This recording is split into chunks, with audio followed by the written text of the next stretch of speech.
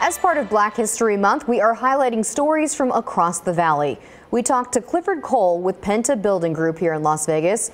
Cole's background is in commercial construction. Fox 5's Les Krifaton joins us now live with a message on creating diversity. Les? Yeah, Kim, if Clifton Cole sounds excited about his career, it's for good reason. There's plenty of growth in the construction industry, regardless of color or gender. That's the message he promotes in panel discussions while visiting schools and as a mentor.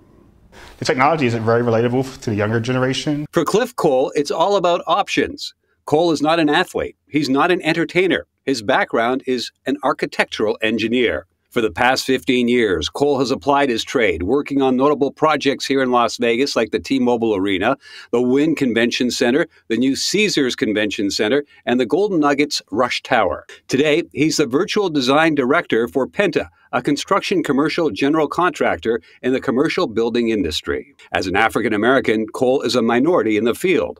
According to the Bureau of Labor Statistics, African Americans make up only 6% of the construction workforce in this country. I think there's been a lot of focus on diversity, um, gender, and race, um, especially with some of the um, social injustices that we've seen in, in, in, in over the past uh, several months. Three years ago, and well before the social unrest of last year, Penta launched a diversity program to create inclusion and awareness. For Cole, it personally meant the opportunity to mentor kids, showing them hard work and a good education pays off regardless of race. Um, part of my responsibility is to help uh, get out to the communities, get out to, to the school districts, uh, talk to the kids, and, uh, and, show them that there are these opportunities that they can get involved in, and it's exciting. Uh, um, uh, career, um, and it's a, also a very uh, lucrative career as well. Cole's advantage in getting the message out are the tools he works with to engage kids. They are able to see the 3D model um, that we were able to build, um, and then also then go see the job site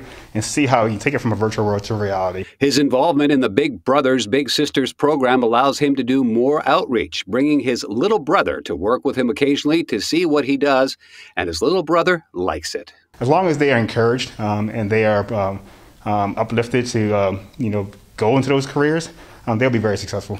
Cole says to break down social walls, it's important to open a dialogue. Starting a conversation about what diversity means and how, how it can impact um, an individual or company. Uh, I think also expanding the conversation beyond just diversity um, for gender or race, um, but in, in, in taking into consideration diverse perspectives. And in an effort to create diversity, Cole not only talks to kids, he also regularly moderates industry panels and continues to promote the importance of inclusion in the construction field.